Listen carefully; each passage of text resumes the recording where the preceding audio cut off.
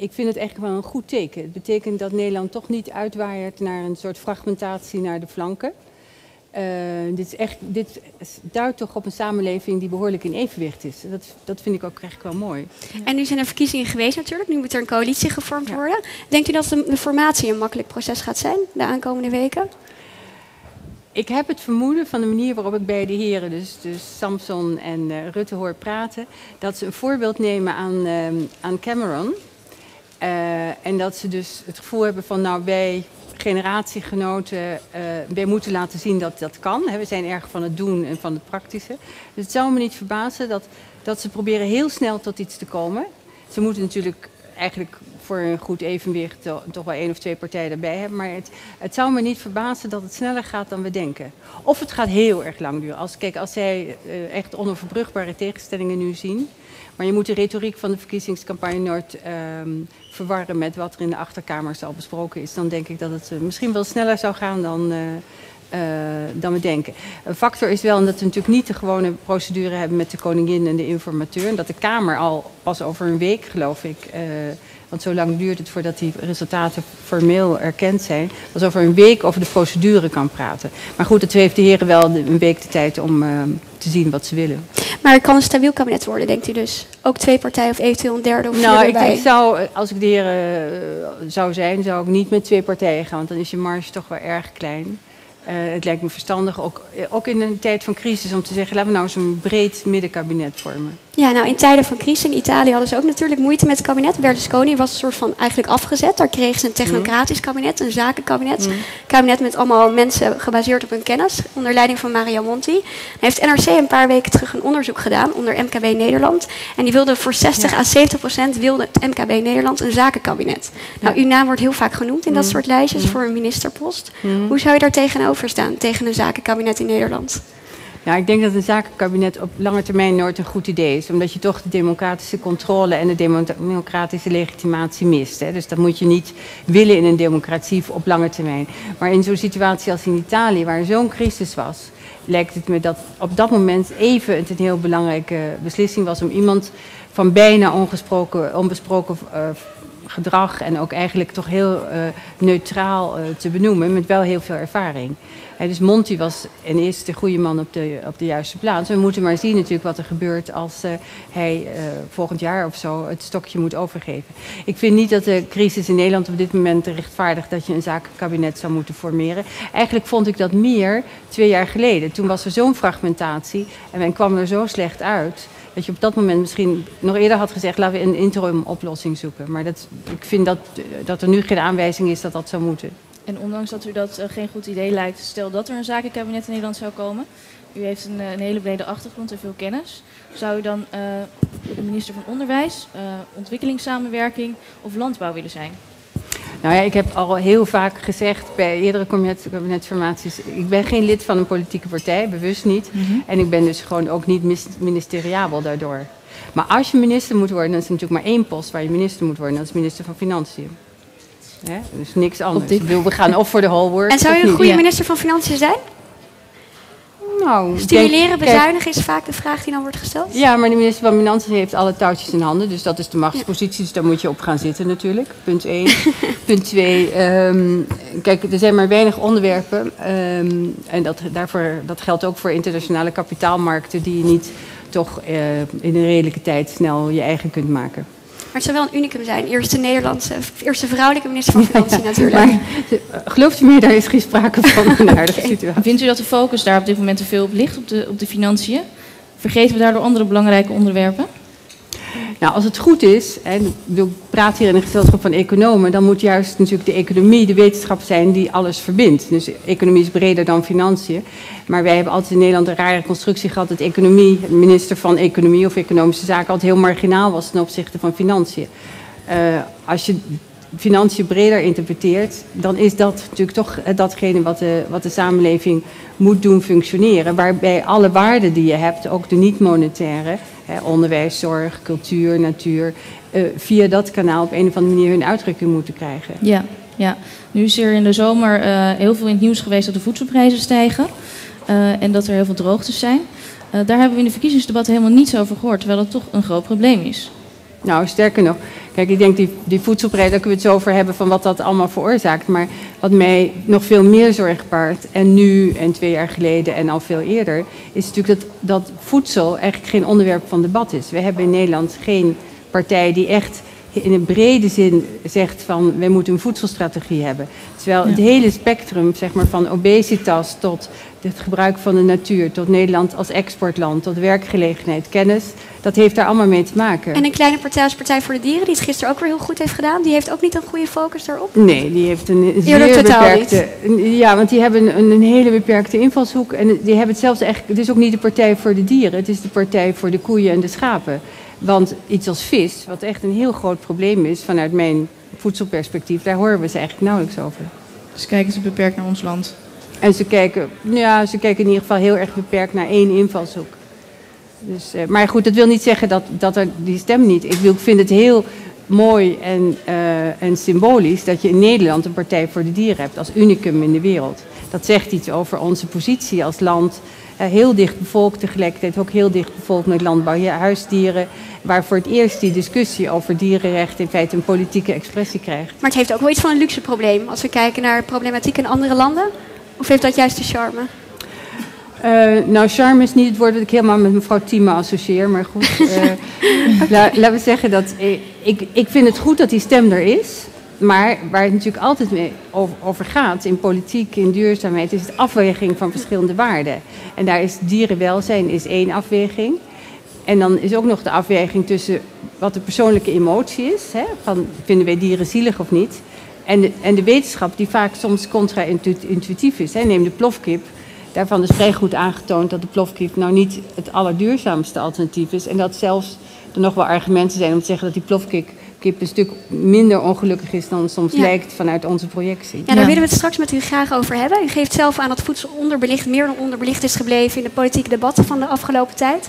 Stel dat voedsel wel een thema was geweest. Wat is dan nu, zijn nu de problemen die rondom dat onderwerp echt dringend zijn of echt aangepakt moeten worden? Ik heb de neiging om te vragen in Nederland of internationaal. En tegelijk corrigeer ik mezelf, want er is eigenlijk geen exclusief Nederlandse situatie hier. Hè? Het, het, grootste probleem in de huidige situatie is dat we uh, bij een heel snel groeiende wereldbevolking, die eigenlijk sneller ook met name dierlijke eiwitten is gaan consumeren, dat we een voedselproductiesysteem hebben um, wat eigenlijk de schokken niet goed kan opvangen. En dus sinds 89, sinds de liberalisering van de wereldmarkt, val van de muur van Berlijn en zo, zijn die markten wel opener geworden. Maar doordat we erg lang, decennia lang, niet geïnvesteerd hebben in de landbouw, is er toch sprake van een, een, een systematische onderwaardering en, onderinvestering. Dat heeft ertoe geleid dat, dat er uh, op allerlei manieren niet voldoende geïnnoveerd is. En als er nu onzekerheden ontstaan, deels psychologisch, maar deels ook, ook reëel, door bijvoorbeeld die, die droogtes, dan zie je dat de markt reageert met ongelooflijke fluctuaties. Ik ben dus minder bezorgd uh, over het absolute niveau van die voedselprijzen dan over uh, de, de, snelle fluctuaties die het lastig maken om verder te investeren. Als je het op de lange termijn bekijkt, hè, sinds de Tweede Wereldoorlog, dan zijn de wereldvoedselprijzen ongeveer met 1% per jaar uh, gedaald. En dat, heeft, dat is een, een weerspiegeling van het feit dat we gewoon steeds beter zijn gaan produceren. Um, nou zitten er allemaal wel mits en maar aan. Het, laagste punt is ongeveer geweest in 2001, dus aan het begin van deze eeuw. En daarna zie je die schommelingen die eigenlijk steeds meer omhoog zijn gegaan, zowel in, in amplitude als ook in de snelheid waarmee ze zijn opgetreden. Dat had een eerste piek in 2008 en dat heeft nu weer een piek. Maar tussen 2008 en nu zijn die prijzen weer ontzettend omlaag gegaan. En uh, wat je eigenlijk ziet is dat een wereldmarkt niet goed reageert op, uh, op onzekerheden. Nou, we zullen het straks misschien hebben over speculatie. Maar als je nu naar de droogte in Amerika kijkt, dan is dat eigenlijk maar uh, een marginaal probleem op de wereldmarkt. Maar er speelt wel een andere factor bij. En dat is dat een deel van het. Gaat voornamelijk over mais, weet je, over soja. En het gaat voornamelijk over het centrale deel, de Midwest van de Verenigde Staten. De, complicatie daarbij is dat uh, uh, in Amerika een, uh, een verplichting bestaat om een percentage uh, aan biobrandstoffen te, uh, van... Te Percentage mais daarin te stoppen. ja, die mais ja. moet dus voor een deel naar de biobrandstoffen. Dat houdt de prijs kunstmatig hoog. Ja. En wat je eigenlijk ziet, en dat moet jullie economen hart toch enigszins laten kloppen... is dat je allerlei vertekeningen op die markten krijgt doordat er eigenlijk fouten worden gemaakt in beleid.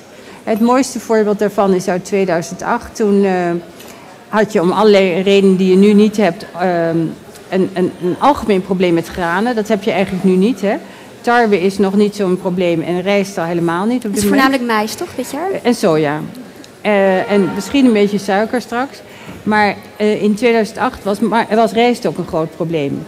En dan krijg je de nervositeit van landen. Dus Thailand, wat de grootste rijstexporteur ter wereld is, sloot van de ene dag op de andere zijn grenzen voor de export. Dus die Thaise boeren die mochten niet meer exporteren.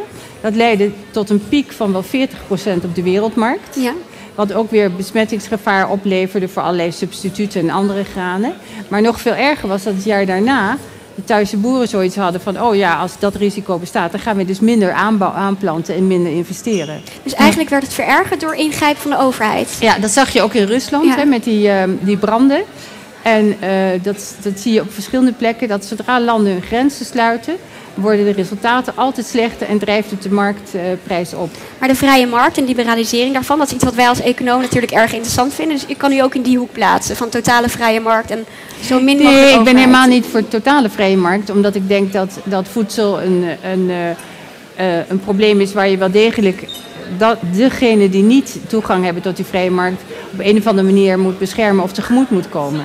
En het, het, het, kijk, wie hebben last van die vrije marktprijs? Dat zijn niet u en ik in de prijs van ons brood zit misschien maar 1 of 2 of 3 procent van de wereldmarktprijs ver, vertegenwoordigd. De rest is allerlei tussenhandel en, en handelingen die tussen het graan en ons brood uh, komen. Wij hebben daar geen last van.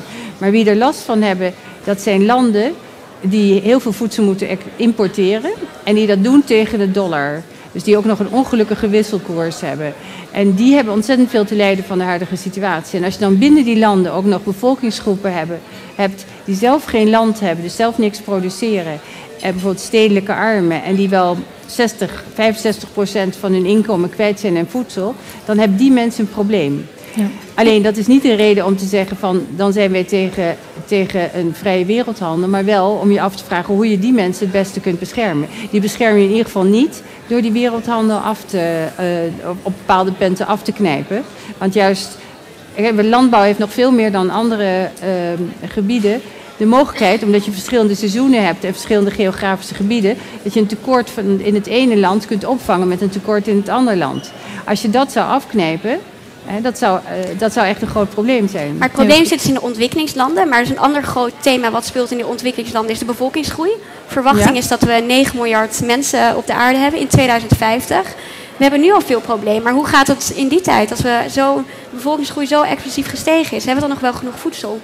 Ja, het probleem is niet alleen bevolkingsgroei, maar is de combinatie bevolkingsgroei consumptietoename. Hè? Want als je even breder ziet van de 7 miljard die we nu hebben, hebben we 1 miljard die in absolute zin eigenlijk nog af en toe te weinig eet. 1 miljard te weinig uh, evenwichtige voeding binnenkrijgt. Plus dan nog die 2 miljard die erbij komen. Dus je hebt echt nog 4, 4 miljard die je moet gaan voeden uh, op een adequate manier. Toch is dat heel goed mogelijk. Um, omdat eigenlijk je in de meeste gebieden, even het westen uh, uitgezonderd, zit je nog ver onder de mogelijkheden die je hebt om te produceren. Zelfs bij de huidige technologie. Nou, in, tot 2050, hè, dat is meer dan een generatie weg, zal ongetwijfeld onze technologie nog verbeteren. Maar om, om je één voorbeeld te geven, hè, de, de opbrengsten in, uh, in China zijn aanzienlijk hoger dan in India. Dat komt omdat China bijvoorbeeld bij, bij rijst, hybride rijst, rijst gebruikt. Het aantal ondervoede mensen is ook in India veel en veel hoger dan in China. In China is dat, is dat tussen de 5 en de 10 procent, eh, echt zwaar ondervoed. Dat is in India in sommige gebieden ook 40 procent. Dus dat geeft al aan dat er potentieel ongelooflijk veel uh, mogelijkheden is. U geeft wel aan dat uh, de vraag naar dierlijke eiwitten sterk toeneemt. Uh, ja. Voor uh, vee, veevoer, uh, de prijs van veevoer stijgt ook heel erg. Dat is voornamelijk ook mais. Ja, eigenlijk is het zo, als, sorry dat ik je onderbreek, maar de hele wereldmarktprijs voor granen wordt eigenlijk volledig gedreven door de prijs voor veevoer. We hebben dus eigenlijk ook, als je het scherp wil stellen, veel meer een veevoer prijzencrisis dan een voedselprijzencrisis. Ja, maar dat dus in combinatie met die 15% uh, uh, mais die gebruikt moet worden in de biobrandstoffen. Uh, zorgt dat voor een probleem op de lange termijn? Zouden we iets aan onze voedselpatronen moeten veranderen? Nou, we, ehm, hier in het Westen maakt gewoon niet zo verschrikkelijk veel uit wat wij doen. Ehm, de, de, grote vraag zit natuurlijk in, in, in, in, arme landen, waarbij je ook Afrika niet moet uitvlakken, want we praten altijd over Azië, maar in Afrika hebben ze straks ook 1 miljard mensen. Ehm, ik denk zelf dat uh, de vraag naar eiwitten een, een, hele logische en legitieme vraag is. Want mensen hebben eiwitten nodig, zeker als je onder consumeert. Maar dat het natuurlijk niet noodzakelijk is dat al die eiwitten uit dierlijke bronnen komen. En aangezien het meest van het vlees wat we consumeren, en zeker in ontwikkelingslanden, dat zijn geen biefstukken, dat is allemaal verwerkt vlees. Hè. De, de, groei zit hem in uh, wat wij technisch noemen eenmagige, dus zeg maar uh, varkens en uh, gevogelte, met name kip en eend in, in, in China.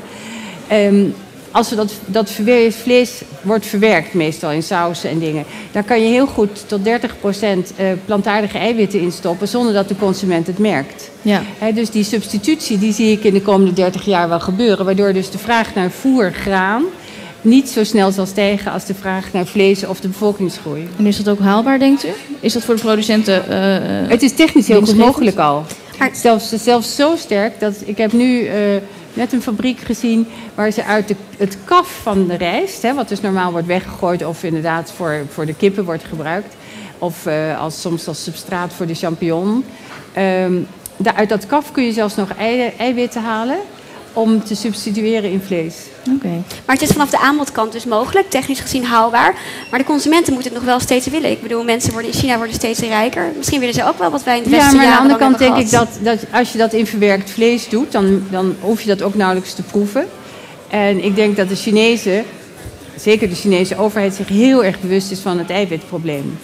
En daarnaast is nog een belangrijke factor dat we, we verspillen nog steeds heel veel. Ook in ontwikkelingslanden. Hè. Hier ook. We gooien, geloof per persoon nu 100 kilo, uh, of nee, per huishouden zal het wel zijn, 100 kilo aan voedsel weg per jaar.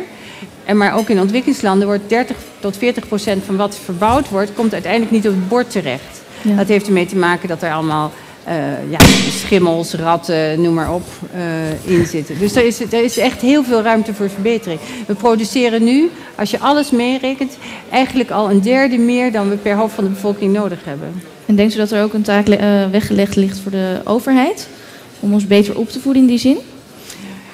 Ja, nou ja, u weet zelf als econoom dat beste opvoeding via price incentives gaat. Dus uh, ik, zou, ik denk dat je als overheid, uh, en dan moet je weer een onderscheid maken tussen waar je het over hebt, welk product en welke land en zo. Dat je heel veel zou kunnen doen door een differentiatie bijvoorbeeld in je fiscale systeem. Ik ben een groot voorstander van een differentiatie van een btw-tarief. Wat uh, dingen die meer duurzaam ik wil niet zeggen absoluut duurzaam, maar meer duurzaam worden geproduceerd, minder belast dan dingen die nog niet duurzaam zijn of onduurzaam. En daarmee zou je dus een, een, de, de, de vraag wat dat betreft kunnen sturen. Dus 30% op vlees bijvoorbeeld? Nou, ik ben niet voor een vleestax. Dat is iets anders dan een fiscaal tarief. Hè. Om... Maar een btw-tarief van Ja, ik denk dus ja. inderdaad aan een btw-tarief. Ik ben niet voor een vleestax, omdat dat heel erg lastig wordt. Want eigenlijk, waar, waar heb je het dan over? Uh, uh, eiwitten uit kip zijn eigenlijk veel efficiënter dan eiwitten uit, uh, uit koeien. Moeten we dan daar een differentiatie in aanbrengen? En het risico loop je dat mensen dan uh, gaan naar goedkopere dierlijke producten. die misschien niet onder goede omstandigheden zijn geproduceerd. En dat je daarmee juist de armen treft. En ook onze armen, hè, die, ook mensen die nu bijvoorbeeld al te veel eten, uh, die kunnen vaak niet goed gevoed zijn. Juist omdat ze te veel calorieën bijvoorbeeld uit vetten krijgen en niet genoeg ja. uit eiwitten. Dus een dergelijke algemene vleestak zou misschien leiden tot het ongewenste effect dat je daarmee meer slechte voeding uh, stimuleert. Maar zou dat uh, ook het probleem van verspilling oplossen? Ja, het probleem is dat je zo ontzettend veel op dat, uh, op dat voedsel moet gaan. Kijk, voedsel is zo goedkoop. Hè? We produceren nu zoveel dat in Nederland geven we per huishouden iets van 11% aan ons inkomen, van ons inkomen uit aan voedsel. Dat was in de jaren 50 was dat nog bijna de helft. Hè, arme mensen geven nog steeds 60% of meer uit.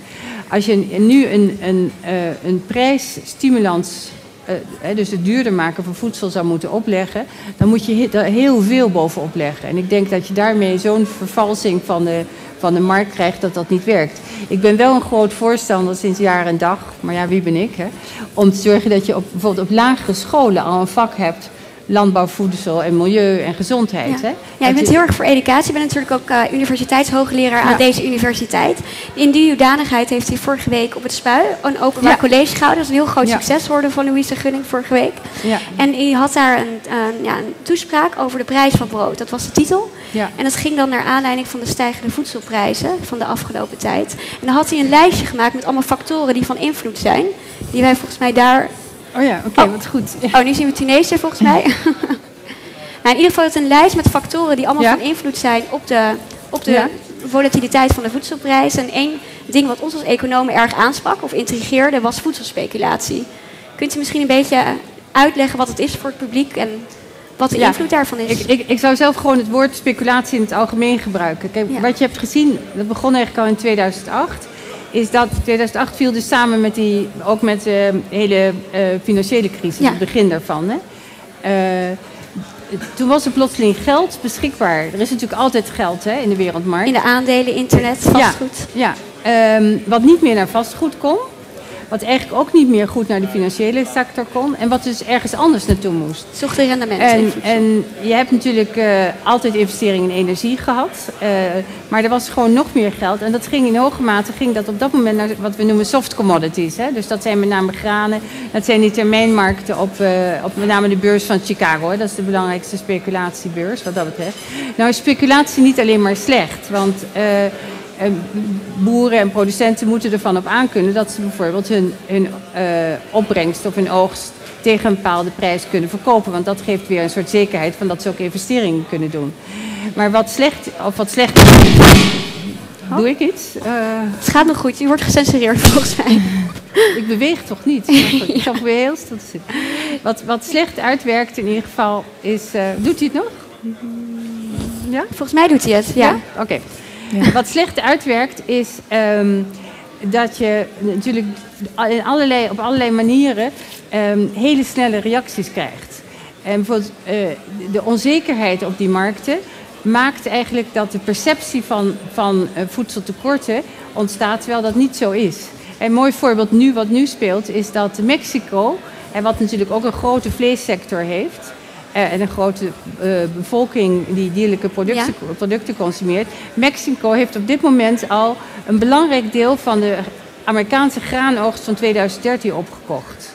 En uh, in combinatie met afnemende voorraden, die we niet meer zoveel willen hebben, omdat we weten dat, dat voorraadbeheer in het verleden ook tot allerlei prijsverveling ja, en, en, en, corruptie in ontwikkelingslanden gaf, zit je dus in een situatie waarin het lijkt alsof er tekorten ontstaan. En, en dat geeft een soort nervositeit die ook die uh, volatiliteit verder uh, beïnvloedt. En zoals ik al eerder zei, volatiliteit is dus een veel groter probleem dan, uh, dan op zich die fluctuatie. sorry, die fluctuatie is een groot probleem dan het prijsniveau zelf.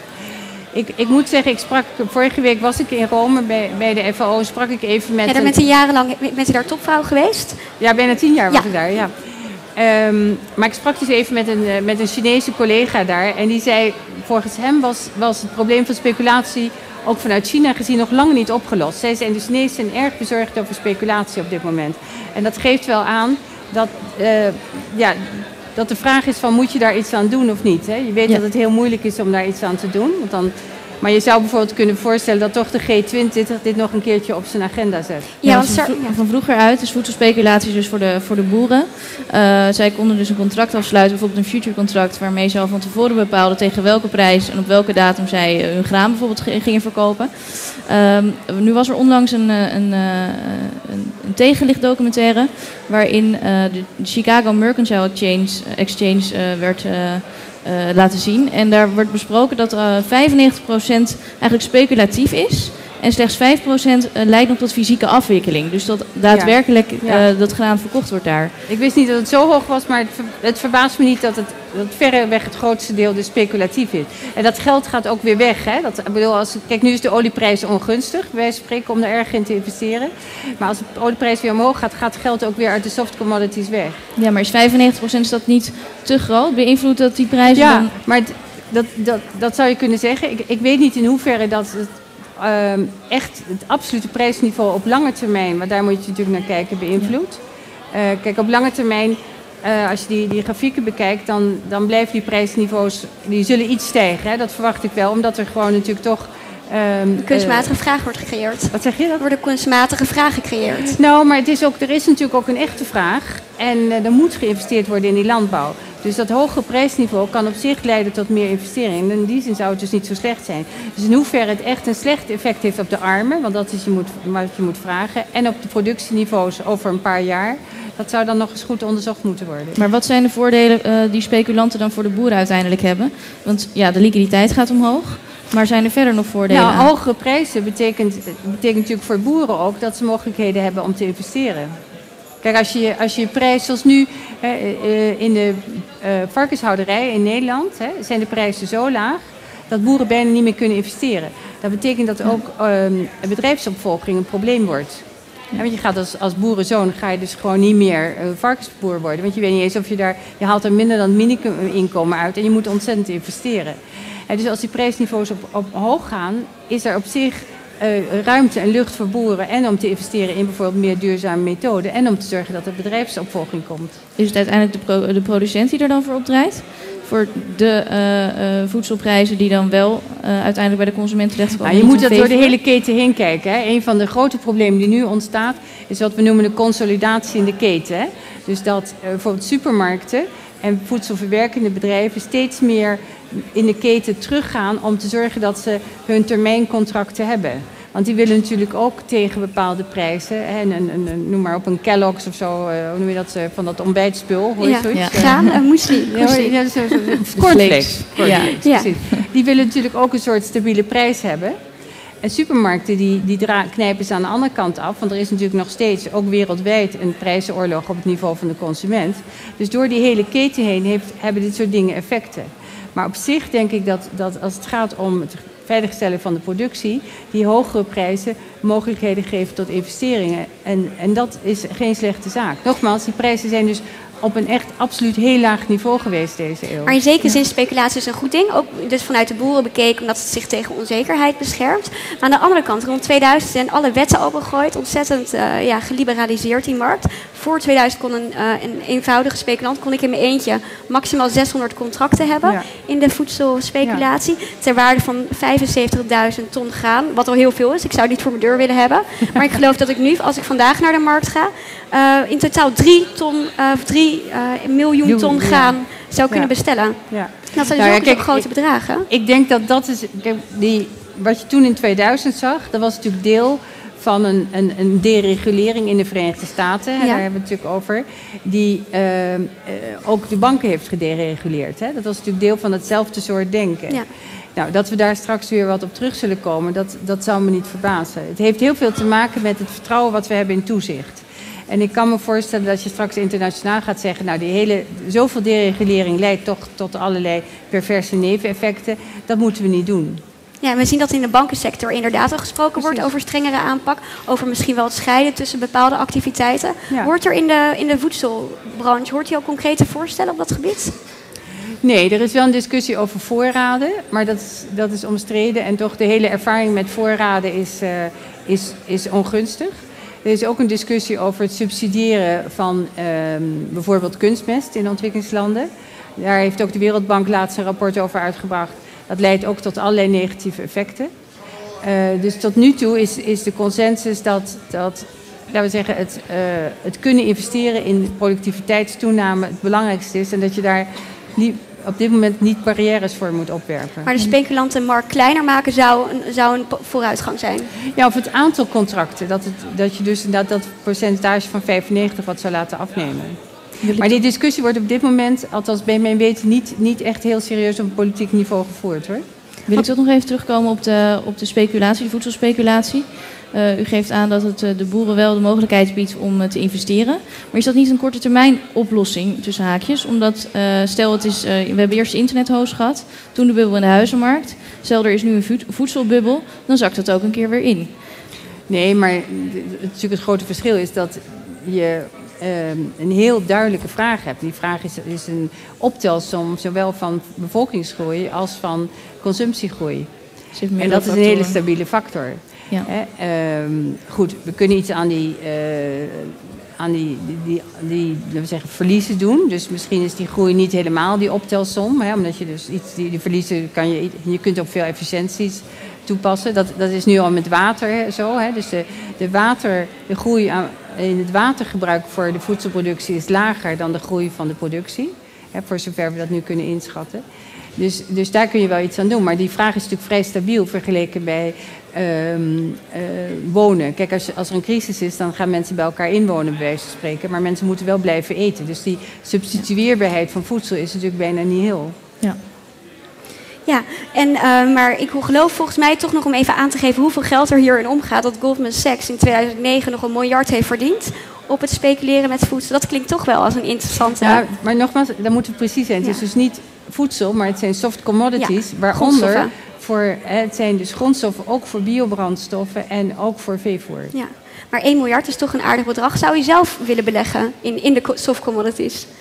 Nee, maar ik ben überhaupt eh, geen voorstander van dat soort dingen. Ik ben zo Ja. iemand met zo'n ouderwetse spaarrekening bij de postbank, die ook al niet meer bestaat en ook niet meer is. Dus als u was. toch minister van Financiën zou worden, zou een hele gedegen, een hele gedegen Dan gaan we conservatief en saai eh, gaan we dat aanpakken. Gewoon in coöperaties, vooral geen ja, ik ben wel. Ja, ik denk dat de coöperatie een soort eh, buffer geeft in de besluitvorming ook. Ik noem niet voor niets coöperaties. We hebben een grote coöperatiebank in Nederland, de Rabobank. Daar bent u commissaris van, geloof Ja, ik. klopt. En u Ja. bent ook commissaris bij Unilever. Ja, klopt. Want ja. ik geloof, eh, Paul Polman, CEO van Unilever, die heeft het wel vaak probleem voedselspeculatie willen aankaarten. Ook Ja. op politiek niveau, Ja. op G20-niveau geloof Ja, ik zelfs. Zeker. Steunt u dat soort, dat het bedrijfsleven Absoluut, dat ja, doet? nee, dat is een heel erg groot discussiepunt tussen ons. Net zoals ehm, zijn plannen voor een echt een, een, een duurzame keten. Hè? Heeft, zoals u misschien weet, of mensen die het niet hebben gezien, moet je maar even kijken. Hè? Dus de Sustainable Living Plan van Unilever is echt wel nu een model aan het worden. Nou, daar ben ik dus heel druk bij betrokken geweest.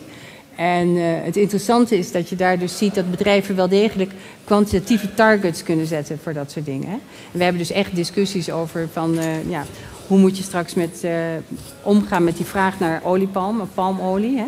Als je zo'n dominante speler op de wereldmarkt bent, wat kun je dan opleggen aan landen? En dat maakt het natuurlijk heel interessant als je dan een hele sector meekrijgt. Dan verandert ook Ja. echt wat. Dus eigenlijk kunt u op die manier heel veel invloed uitoefenen via Ja. het bedrijfsleven. Heeft u dan Nou, ook maar ook via de overheid hoor, denk ik. Want u heeft wel tien jaar inderdaad in eh, Rome gezeten bij de FAO, als ik het goed zeg. Maar is het dan via Unilever, dat lijkt mij dan, dat, het dan toch, dat je uiteindelijk meer effect hebt? Nee, je moet Door zo- allebei doen, denk ik. Ehm, en ik vind een van de voorrechten van mijn positie dat ik ook in die, eh, zo mooi heen en weer kan schuiven tussen wetenschap, overheid en beleid, eh, nationaal en internationaal en bedrijfsleven. Er zijn niet zo heel veel mensen die, die echt toegang hebben tot alle drie die, ehm, die milieus. En dat, dat geeft wel, eh, nogmaals, dat geeft, dat geeft de mogelijkheid om invloed uit te oefenen. En ik ben meer van de invloed dan van de macht, zal ik maar zeggen. Ja.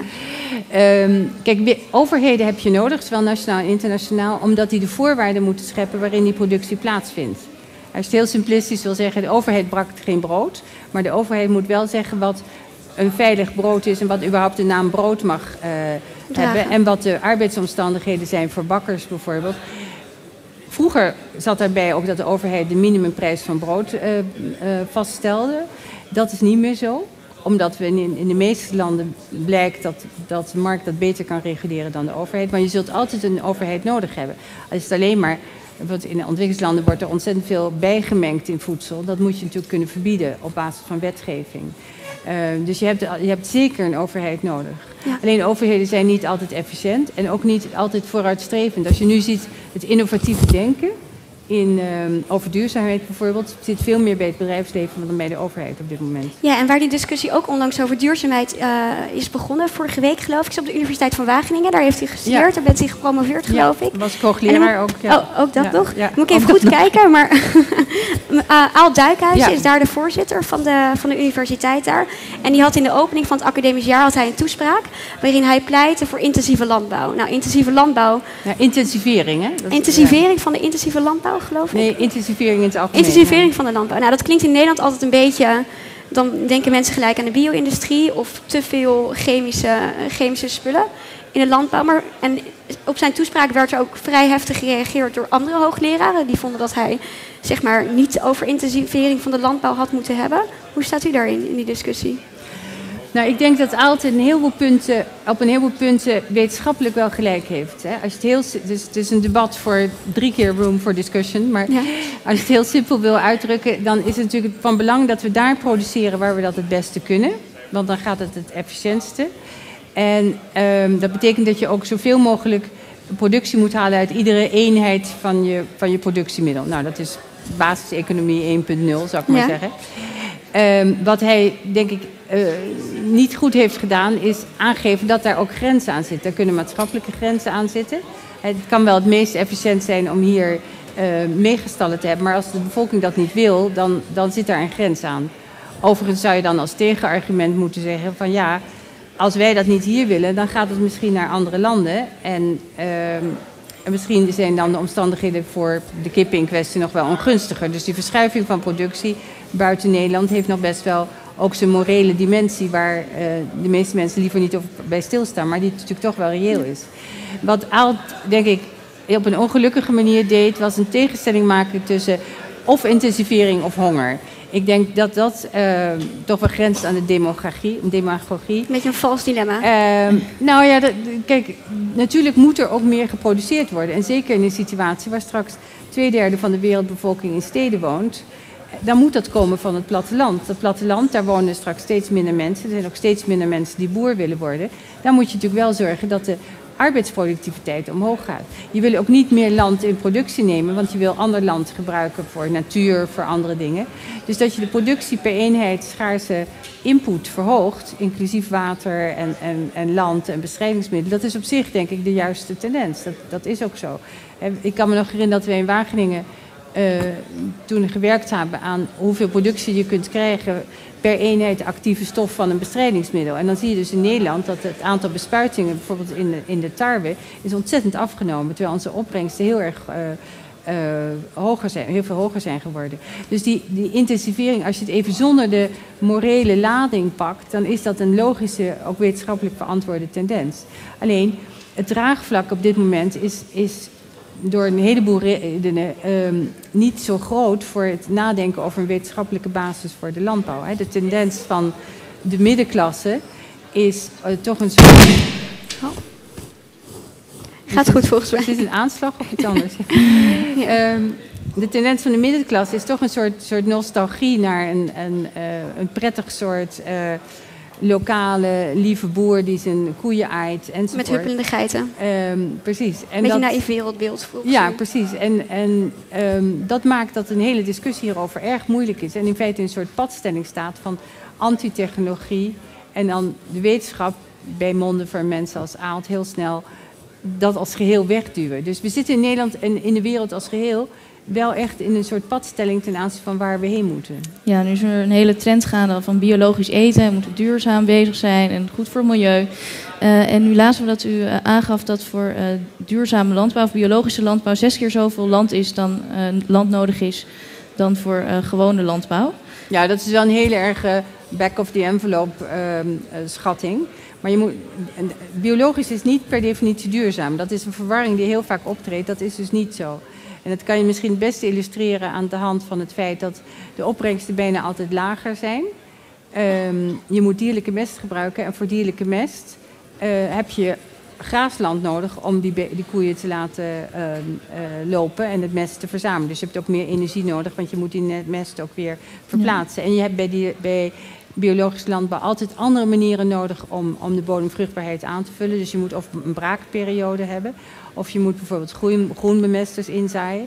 Dat betekent dat een opbrengst per hectare in één, in één jaar eigenlijk niet um, maatgevend is voor hoeveel land je nodig hebt van die biologische landbouw. Dus je kunt wel een hoge opbrengst hebben, maar er zit dus heel veel verborgen land achter van groenbemesters of van een braak. Dus verborgen in de tijd of in de ruimte van die grazende koeien. Waardoor die opbrengsten al gauw een factor drie lager kunnen zijn. Dus ja, maar duurzaam is dus een, eigenlijk een heel breed begrip. Want we kunnen natuurlijk verschillende er zal een definitie van over zijn. Maar als we kijken naar de biodiversiteit of de diervriendelijkheid, nou, maar spelen zelfs, die zelfs ook daar, Zelfs daar eh, ligt het helaas soms contra-intuïtief en niet zo eenvoudig als je uh, zou, zou denken. Uh, biodiversiteit uh, is op alles, alle landbouwvelden is biodiversiteit altijd lager. En de enige manier om biodiversiteit echt in stand te houden is te zorgen dat je zo veel mogelijk je productie concentreert, zodat je zoveel mogelijk land onder natuurlijke ecosystemen kunt krijgen. Dus een systeem wat meer land vraagt, is in feite niet beter voor je biodiversiteit buiten de landbouwgebieden. Ja. Het is wel zo dat eh, sommige technieken, ik zeg niet alle, maar eh, bijvoorbeeld minder bestrijdingsmiddelen natuurlijk leiden tot een hoger niveau van insecten. Alleen ehm, gaat dat dan vaak ook weer om insecten die andere insecten eten, zodat je totale insectenpopulatie niet per se omhoog hoeft te gaan. De beste manieren om in landbouwgebieden biodiversiteit in stand te houden, ze hebben vaak te maken met het aanleggen of in de hand eh, of in stand houden van hakbosjes, zoals we dat noemen, of borders of bufferzones enzovoort. En maar per definitie betekent landbouw altijd minder biodiversiteit. En als Heel u dan een keuze moet maken tussen intensivering van de landbouw of biologische landbouw, kies je dan voor het eerste? Ja, ik vind dat gewoon dat, geen goede keuze. Dat is, dat is eh, zoiets van vragen van... eh, eh, wil je, wil je, je je cake hebben en hem ook nog eten? Eh, het is, kijk, er, zal een, er is een markt voor biologische landbouw. Dat is heel duidelijk in dit soort landen. Wij die markt niet moeten overschatten. We hebben het natuurlijk nog steeds over een laag percentage. Eh, maar de wereldbevolking voed je niet met de huidige systemen van biologische landbouw. Ik denk eigenlijk dat het, eh, dat het ook een valse tegenstelling is. Ik zie de biologische landbouw en de gangbare landbouw steeds meer naar elkaar toe groeien. En ik denk dat je over 30 jaar deze discussie helemaal niet meer hebt. Dan haal je gewoon de beste elementen uit beide technieken. Maar ik moet zeggen dat biologisch niet, niet zo duurzaam zou zijn als eigenlijk de hele groene stroom presenteert. Dat vind ik best schokkend om te horen. Want ik geef extra geld uit voor de biologische producten. Iedereen probeert zijn best te doen. Maar is, dat is dus eigenlijk een soort van informatiegat wat, wat hier ligt. Ja, het is, eh, nou goed, dan, ik loop vooruit op mijn boek waar een heel groot hoofdstuk over biologisch en natuurlijk staat. Maar dus het, verhaal is natuurlijk nog een stuk complexer en ingewikkelder. Maar het is niet zo, eh, hoe naar het ook is en hoe vervelend ik het ook persoonlijk als consument vind, dat je kunt zeggen dat biologisch de betere optie is. En je kunt zelfs niet zeggen, baat het niet, dan schaadt het niet. Maar ik geloof dat hij- wij lazen een interview met u, of een, een, een, stuk over u, waarin u heeft opgeroepen enkele maanden terug dat er eigenlijk productie van, bi- of producten die biologisch geproduceerd zijn, een soort van etiket zou moeten komen, net zoals bij sigaretten, dat het schadelijk zou zijn. Nou ja, dat was, dat, dat, eh, dat, was, dat was een grapje in een context waarvan eh, ik al helemaal niet eens wist eh, dat er überhaupt journalisten in de zaal zaten. Ik zal hier ook even kijken. Maar, ehm, en wat ik toen zei was om het verschil aan te geven, juist in die discussie van is het nou beter of minder goed, hè, dat je toch op moet passen dat je, dat je denkt van nou baat het niet, dan schaadt het niet. En je kunt ook natuurlijk net zo goed zeggen voor de gangbare landbouw, ook daar heb- zou je als het ware een soort bijsluiter mee moeten hebben. En wat ik eigenlijk daar wilde zeggen was dat de informatie die de consument heeft als het gaat om, om het, zijn aankoopgedrag nog steeds zo slecht is. En dat is wel een belangrijke correctie op, op de eerdere discussie over de, over de markt. Kijk, idealiter, als ik jullie economen goed begrijp, dan hebben we het er altijd over dat de, dat de markt goed functioneert als er gelijkheid van informatie is en gelijke toegang tot informatie. Het probleem wat we op dit moment hebben, is dat heel veel mensen geen idee hebben van hoe voedsel wordt geproduceerd, wat de effecten daarvan zijn en wat de consequenties van hun aankoop is. Er wordt ook veel gelobbyd eigenlijk in dit gebied. Tenminste, ik weet Ja. dat de melklobby heeft vroeger allemaal dingen volgens mij staan in de schijf van vijf, terwijl het misschien aan gezondheidsredenen niet helemaal Hmm. zo zou moeten zijn. Heeft die lobby nu nog heel veel invloed op dit moment? Nou, wat vooral invloed heeft, is de grote verwarring die er is. Ehm, van, van dieetgoeroes op het internet Sonja tot Bakker. allerlei bedrijven, Sonja Bakker enzovoort. En ik denk dat als het gaat om, om, om voedselconsumptie en, en voedselpakket en wat mensen eten, dat de, de algemene conclusie vanuit de wetenschap is dat als je maar een, redelijke mate van diversiteit in je voedselpakket hebt, dat het gewoon in een land als Nederland allemaal wel goed komt. Dus alle verhalen dat je per se elke dag een stukje pure chocola moet eten en dat je geen pindakaas mag eten, maar wel juist ananas. Eh, dat zijn Die allemaal fabeltjes. Ja. Er zijn wel, kijk, de voedingswetenschap is natuurlijk een, een, een statistische wetenschap op basis van epidemiologische gegevens in hoge mate. Er zijn heel weinig verklarende mechanismen. Dat komt nu langzaam wel op gang. En vroeger dachten we bijvoorbeeld dat eieren heel slecht waren, want cholesterol was een probleem. Tot we ontdekten dat je verschillende typen cholesterol had, enzovoort, enzovoort. Dus dat is, we hebben natuurlijk te maken met al dit soort wetenschap met voortschrijdend inzicht. Maar als ik het goed begrijp, is dat in de economie ook behoorlijk zo. Dus, Ja, we en, hebben en, wat- en resultaten uit het verleden, enzovoort, enzovoort, garanderen niet. Nee, we hadden het net al even over, uw, eh, over uw boek Hamburgers in het Paradijs. Kunnen we daarvoor informatie eh, verwachten over de voedselproductie? Ja, het is een veel breder boek dan alleen over voedselproductie. Eigenlijk, de ondertitel is ehm, ehm, Voedsel in tijden van schaarste en overvloed. En ik, ik gebruikt dus een hele brede, ook voor een deel evolutionaire blik van hoe is het zo gekomen dat we hier zijn en waarom hebben ze moeite om om te gaan met die overvloed en waarom bestaat er nog op sommige punten schaarste. Uh, en uh, in de titel zitten eigenlijk twee van de thema's die als een soort rode lijn daar doorheen lopen verborgen. De hamburger, die ooit natuurlijk symbool was, eerst van het gelukkige middenklasgezin in de Amerikaanse buitenwijken. Toen het, het voedsel voor, voor sterke mannen werd, hè, de Big Mac. Vervolgens ging mondialiseren en daarmee aan de ene kant het symbool werd van uh, het westerse kapitalisme in de positieve zin. Hè. De, de hamburgervestiging van McDonald's in Moskou was binnen een dag de meest bezochte vestiging na 1989. Ehm, van, uh, van alle vestigingen in de wereld.